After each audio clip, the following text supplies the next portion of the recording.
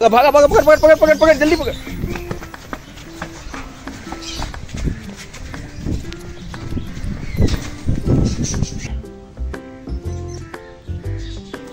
ये देखो ये इसने दुम से अटैक किया। अब देखिएगा ज़रा। अस्सलाम वालेकुम दोस्तों वेलकम टू अनदर व्लॉग और आज का व्लॉग है बड़े ही मज़ेदार जानवर के बारे में। और जो पाकिस्तान में आपने बहुत ही कम देखा होगा या फिर नहीं देखा होगा ये मेरी गारंटी है। वो जानवर दिखने में है बिल्कुल डायनासोर जैसा। और उसको जब मैं उठाता हूँ तो मुझे ऐसा फील होता है कि जैसे मैंने कोई डायनासोर का छोटा सा बेबी कैरी किया हो।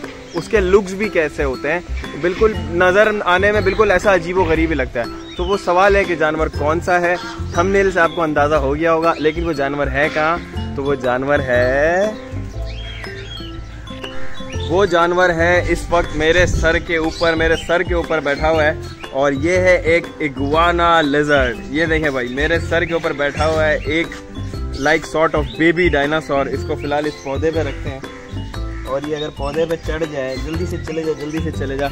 क्योंकि सनलाइट का इसका टाइम है और ये वक्त है कि जब ये सूरज की रोशनी में हम इनको छोड़ते हैं, ताकि इनका जो मेटाबॉलिज्म सिस्टम है वो बहुत अच्छे से काम करे। और मैं क्यों कह रहा हूँ बार बार कि ये डायनासोर के जैसा लगता है? क्योंकि ज़रा इसको आप गौर करें आप। इसके फेस को गौर करें।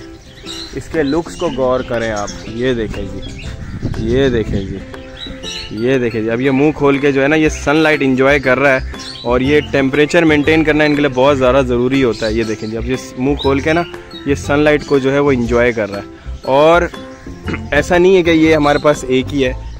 इसके अलावा भी एक और है जो इससे थोड़ा सा और ज़्यादा खतरनाक सा लगता है और उसका कलर है रेड तो उससे भी हम आपको मिलवाते हैं। और तुम इधर ही आराम करो।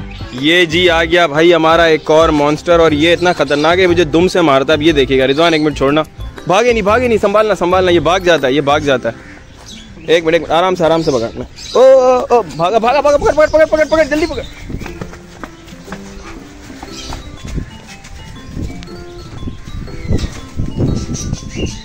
ओ, ये रहा ये रहा ये रहा पकड़ अब अब पकड़ा जाएगा पकड़ा जाएगा, पकड़ लो, अब पकड़ लो।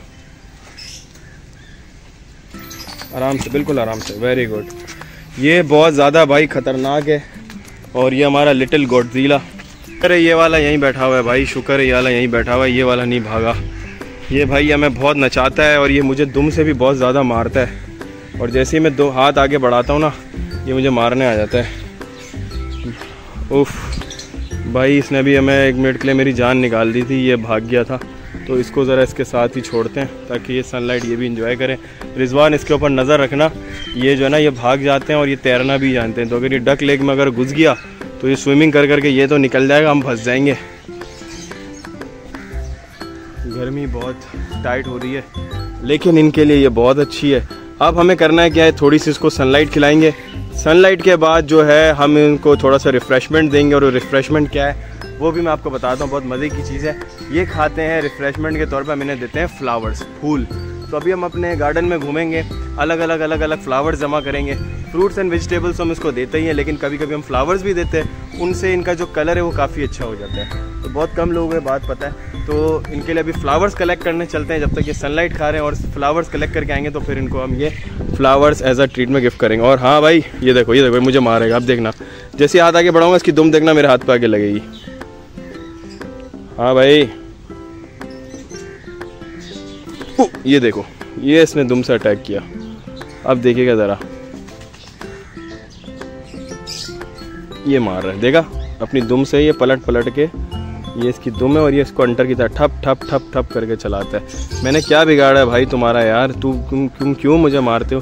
तो ये हमारा, इसका नाम मैंने टीरेक्स रखा है और ये हमारा दूसरा जो ये गॉडजीला टीरेक्स और गॉडजिला इस वक्त जो है वो सन बात ले रहे हैं और सन बात लेने के बाद हम इनको रिफ़्रेशमेंट देने वाले हैं। ये देखें, ये दोनों जो है, ये मुँह खोल के और ये सन बास्किंग ले रहे हैं। ये इनके लिए बहुत ज़्यादा ज़रूरी होती है। मैंने इनको यहाँ बिठाया था उसके बाद ये खुद चढ़ चढ़ के ऊपर टॉप पे आ गए टॉप पे इसलिए ताकि सनलाइट इनको अच्छी सी मिल जाए।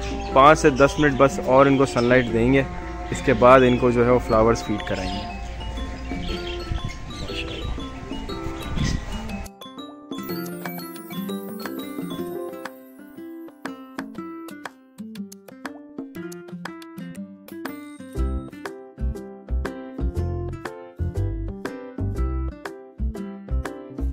हम अपने गार्डन एरिया के अंदर आ गए हैं और यहाँ पे कुछ नए नए फूल निकले हुए थे।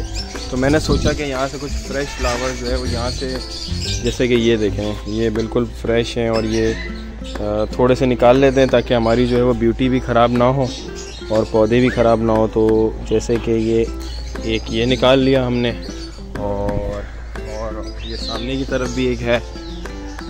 तो ये निकाल लेते हैं छोटा वाला। एक ये निकाल लेते हैं।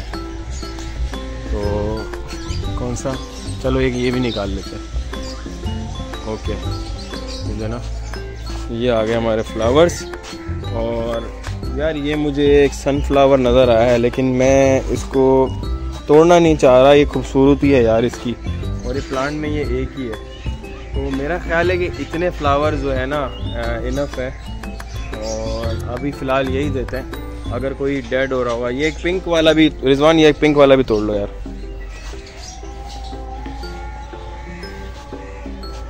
बस बस, एक काफ़ी है। ये देना अब ये हो गए हमारे फ्लावर जमा। और ये हो गई हमारी इगवानास की ट्रीट और अब ये ट्रीट जो है, हम देने जा रहे हैं इगवाना को। तो लेट्स गो इगवाना जो है, वो एक ऐसी लिजर्ड है, जो कम्प्लीटली हर्बी होती है।